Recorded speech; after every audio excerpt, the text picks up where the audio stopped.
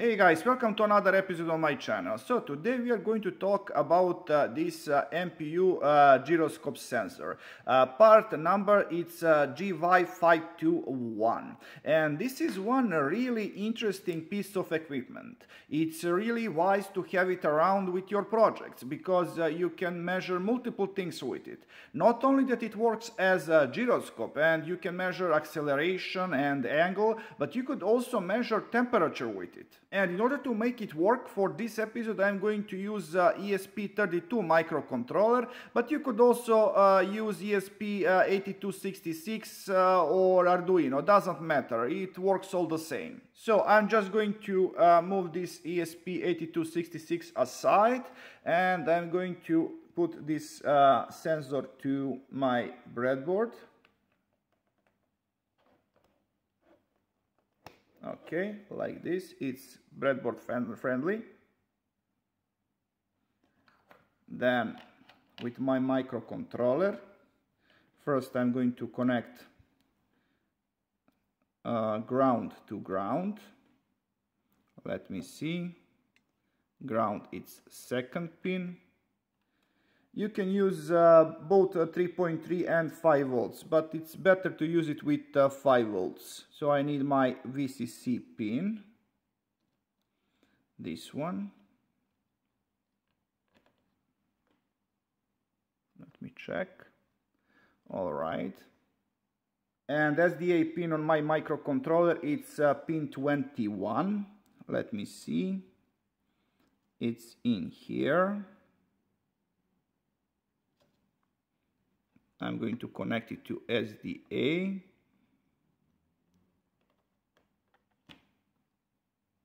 And SCL, it's pin 22. It's in here. It's third pin on sensor module. All right. So in next part of this tutorial we are going to do coding and at the end we are going to test our project. Alright guys, if you are using Visual Studio Code, go to your uh, platform IO and create new project. Click on new project. Project name is going to be simple test and select uh, your board. I'm going to use ESP32. Let me see.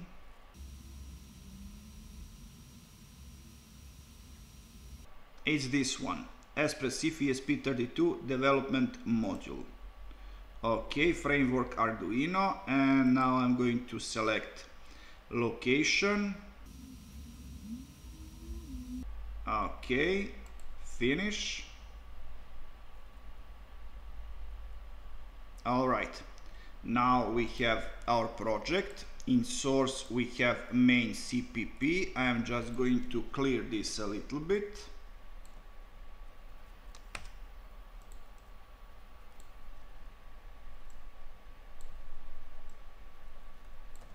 All right.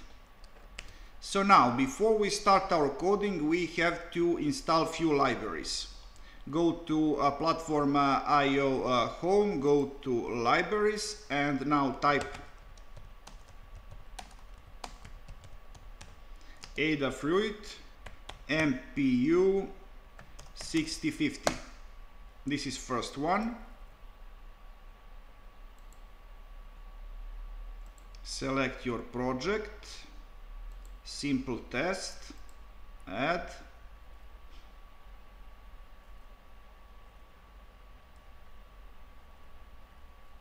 all right. Next one. It's also Adafruit unified sensor. Add to your project. Simple test add. And one more. Also Adafruit bus IO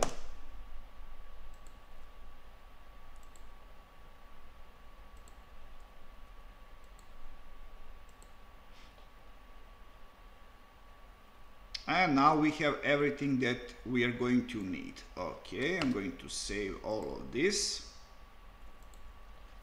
I'm going to select my USB port now and we can go with the coding now so first I'm going to include these uh, libraries. So include Adafruit underscore MPU 6050 then include sensor.h and include wire. Now we are going to create uh, object of MPU sensor so add a fruit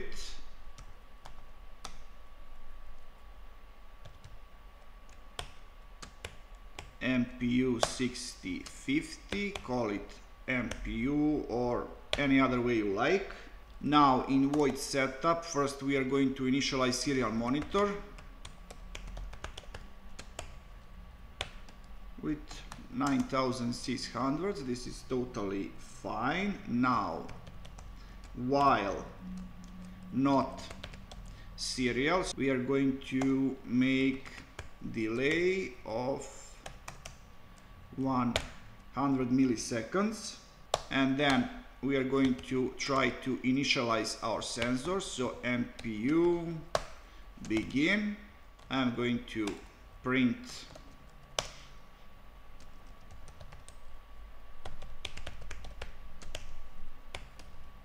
something like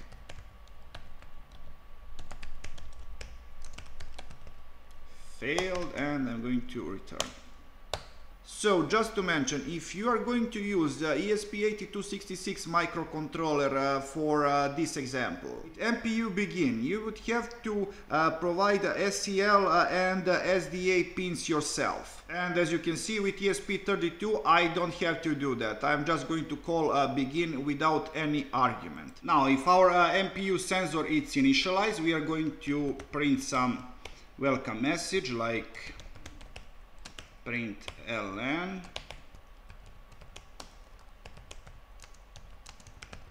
something unimportant. Just in order to know that everything is up and running. Now we have some housekeeping stuff uh, like function MPU set accelerometer range. And we are going to set it to MPU 60 50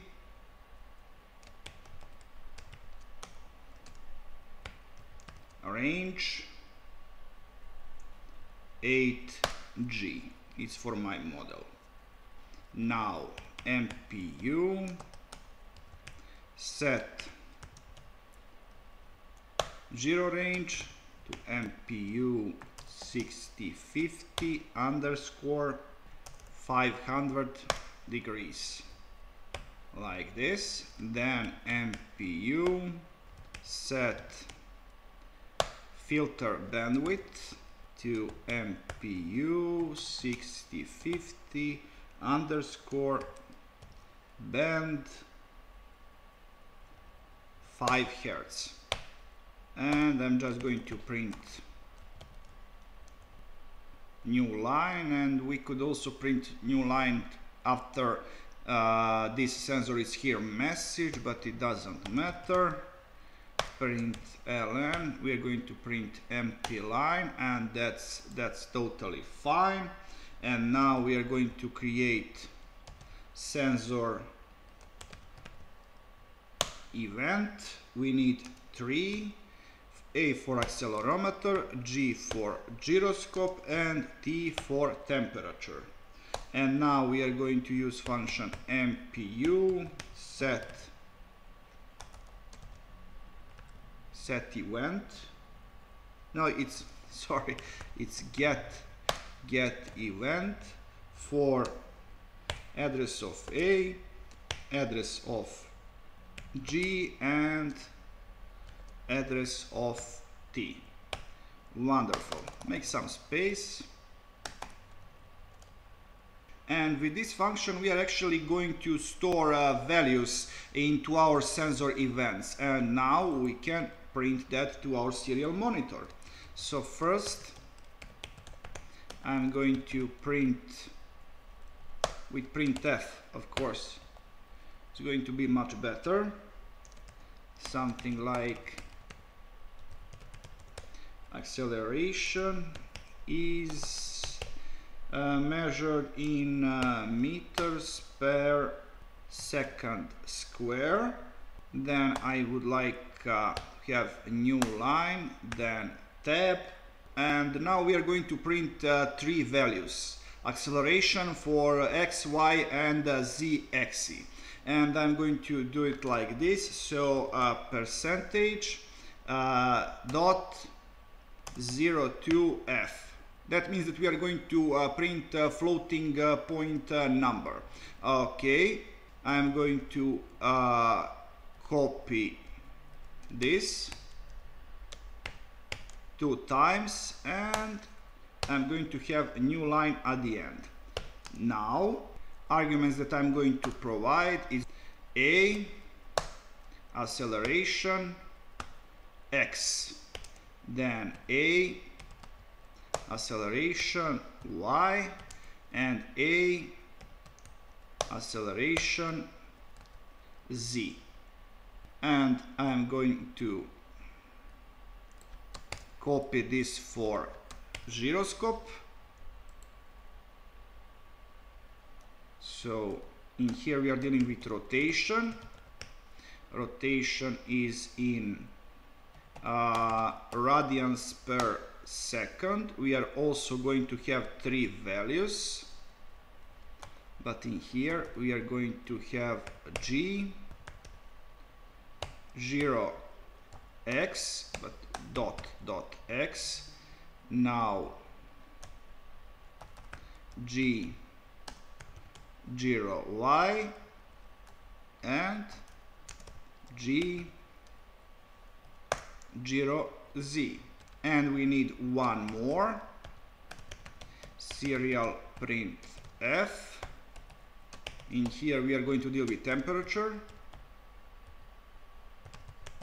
Temperature is percentage dot 02 f in Celsius degrees. Okay and I'm going to have a new line additional new line and as argument we are going to provide T temperature. And just in order to format this a little bit better print ln. I'm going to print something like this between start and the end of readings Uh, it's going to be interesting to be like this.